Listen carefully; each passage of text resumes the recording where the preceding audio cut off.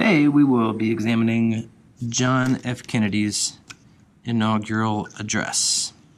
Uh, arguably one of the most famous inaugural addresses ever delivered by a new president. This one happened to have been delivered on January 20th, 1961. I think I'm going to uh, read it out loud and highlighting words, and then I'll come back and address those words. Hmm, that's my plan, but I frequently deviate from my plans.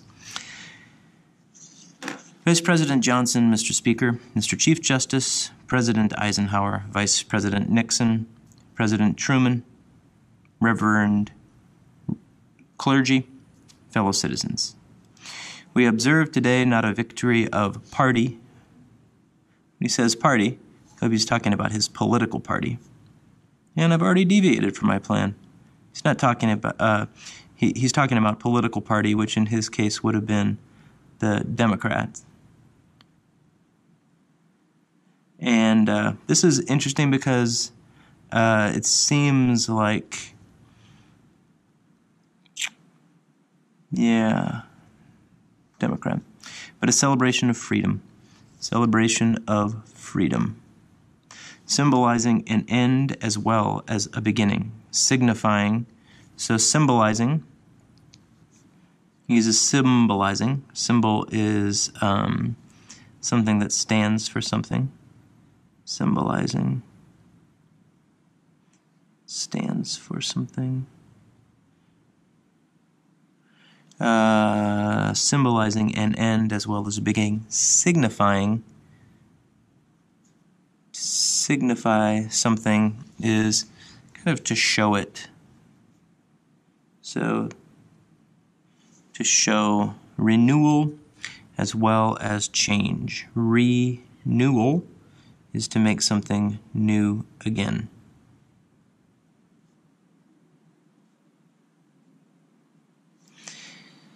For I have sworn before you and Almighty God the same solemn oath our forebears prescribed nearly a century and three quarters ago. Solemn, it's like sacred, it's like holy, uh, and also like just very serious. And oath is a promise. Our forebears prescribed.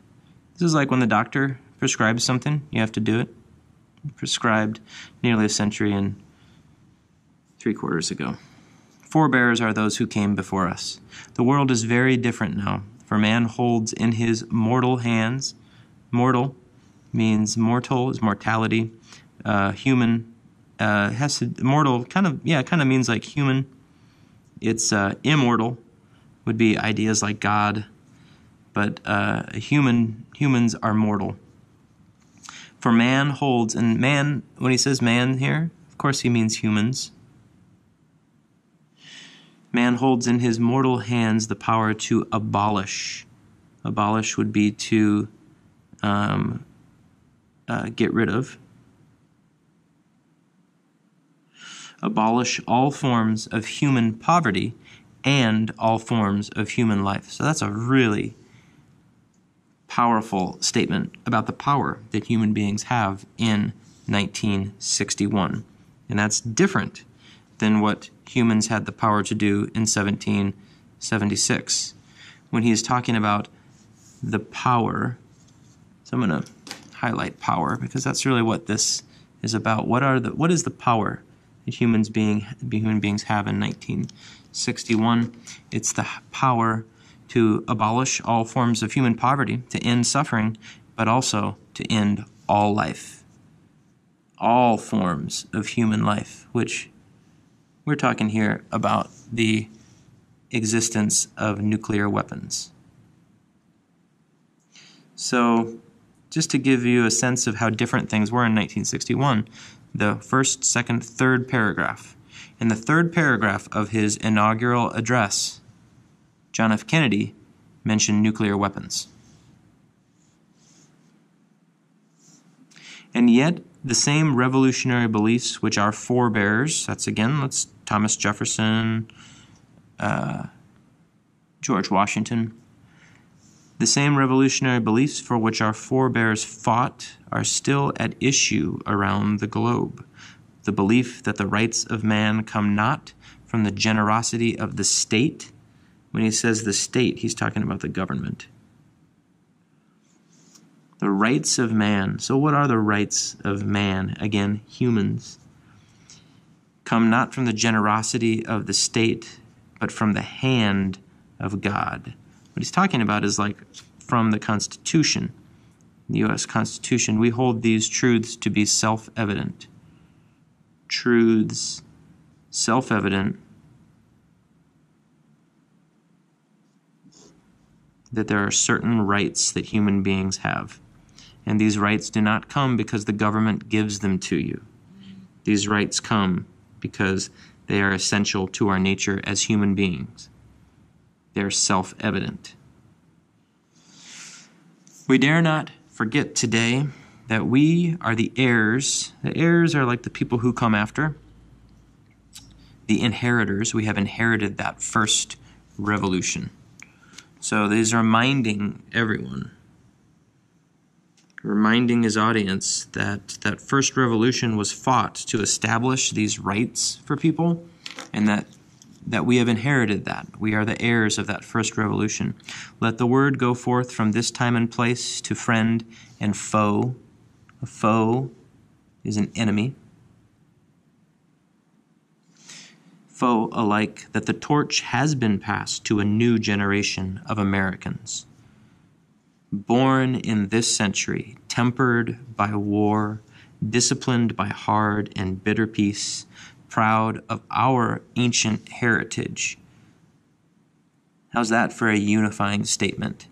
Our ancient heritage, it's all of ours, and unwilling to witness or permit the slow undoing of those human rights to which this nation has always been committed and to which we are committed today at home and around the world. That is a very long sentence and a very powerful statement about who he believes we are as Americans, and specifically in 1961, what kind of Americans. The torch has been passed means we have inherited this revolution from 1776, a new generation of Americans, people who were born in the in this century, meaning born in 1900 and beyond.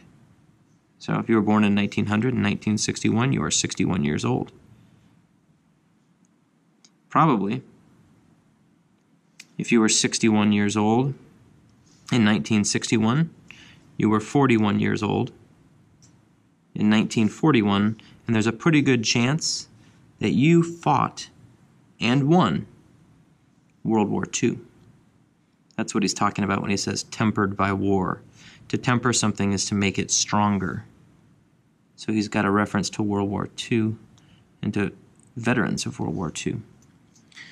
Let every nation know, whether it wishes us well or ill, that we shall pay any price, bear any burden, meet any hardship, support any friend, oppose any foe to assure the survival and the success of liberty. So he has definitely really quickly moved beyond, yeah, any discussion of the Democratic Party versus the Republican Party or anything like that. And he is going big with big ideas about America. I circled all these words here because they're all verbs. This is what's called a parallel parallelism.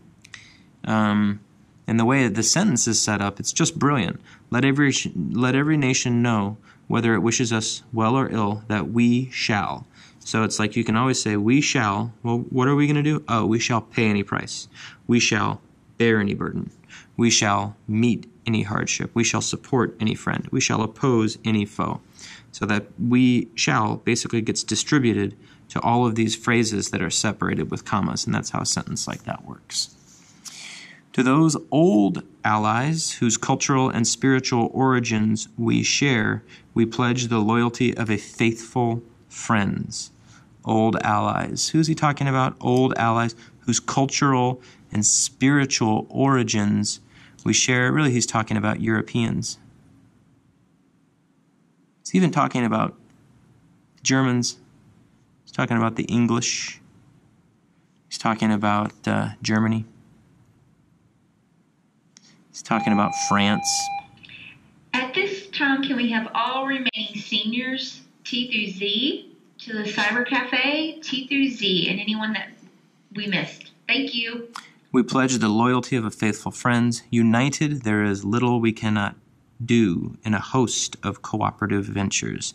Divided, there is little we can do, for we dare not meet a powerful challenge at odds and split asunder. So here he's talking about foreign relations. How are we going to work with our allies?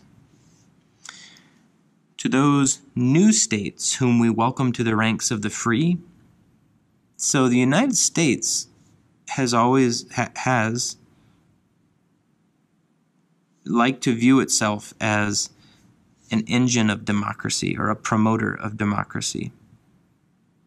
And that's been somewhat true sometimes and less true at other times, but it's part of the American idea is that we promote democratic ideals to other nations. And in the 1960s, ni- late 1950s, there were a bunch of countries all over the world that uh, that were under colonial control, and then they were able to break free of that colonial control and um, start to have their own democracies. This is uh, uh, what he's referring to. To those new states whom we welcome to the ranks of the free, we pledge our word that one form of colonial control shall not have passed away merely to be replaced by a far more iron tyranny. Iron tyranny could be a reference to the USSR, and we'll find all kinds of references to the USSR because this earlier in the speech in the second paragraph when he was talking about nuclear weapons and destroying the whole world, that was really all part of what is called the Cold War. And Kennedy is one of the most Cold War of the Cold War presidents. Um, actually, Eisenhower, Kennedy, uh, uh, LBJ, all of those presidents, all the way up till Reagan and George uh, H.W. Bush were all involved in the Cold War. That's a long, many, many years of U.S. history. This the one of the prime concerns of the U.S. president was the Cold War, and that was a war that was between the United States and the USSR. And now it's Russia. The USSR no longer exists because the United States won the Cold War. And part of the resolution of the Cold War was the USSR uh, dissolved. And it was replaced with Russia as a country.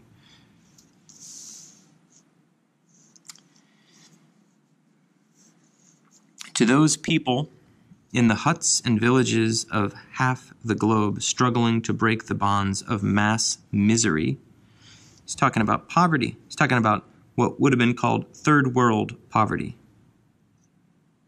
You would now call it um, developing nations poverty. Good afternoon, New Tech. Here are your announcements. Please bring a few dollars this Friday to purchase some